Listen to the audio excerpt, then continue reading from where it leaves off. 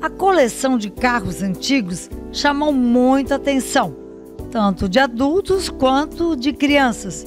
Muitos modelos e marcas diferentes que fizeram sucesso entre as décadas de 50 a 80. Os carros antigos, eles eram estilizados, eles eram um carro assim muito bonito e até hoje quem tem cuida muito bem. É a cor dele que chama atenção, não é aquele, é um amarelo ouro, é um, um vermelho é, sangue, é um preto mais assim. Então é um carro muito estilizado, muito bonito. Para mim é de grande valor, porque é admirável ver um, carros. É, eu gosto muito de veículos.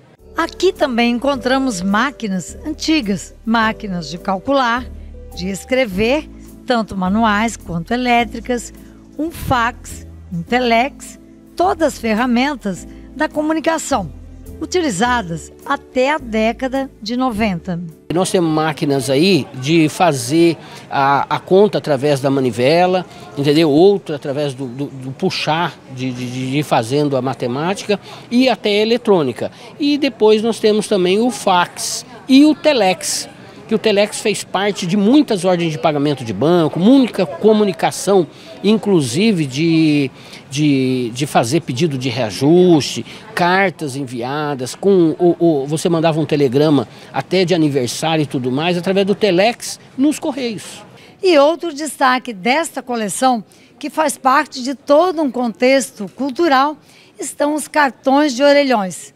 Para se ter uma ideia, as pessoas faziam filas tanto nas ruas quanto dentro das repartições públicas e até nas empresas, para fazer suas ligações locais, nacionais e até internacionais. Os cartões eram primordiais para resolver questões básicas e rápidas. Os orelhões funcionavam bem, até surgir a modernidade e a nova tecnologia da informação. Agora, é claro, todo mundo tem um celular. Nos cartões de orelhões, muitas pessoas foram homenageadas. Um dos grandes homenageados foi o patrono das telecomunicações, Marechal Cândido Mariano Rondon. Rondon foi homenageado em várias séries de cartões para orelhões aqui no Brasil.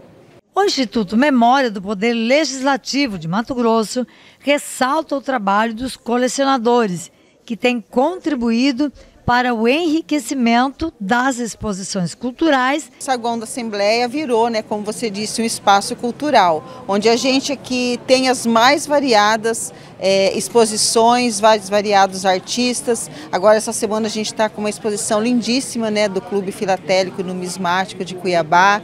Então assim, os amantes do, de colecionismo venham visitar aqui o saguão, é, essa belíssima representatividade que o Paulo, né, o presidente de, daqui de Cuiabá do, do Clube Filatélico fez, trouxe para a gente aqui no parlamento, está belíssima, riquíssima, conta as várias histórias. Então aqui a gente está aqui para colher os mais variados segmentos.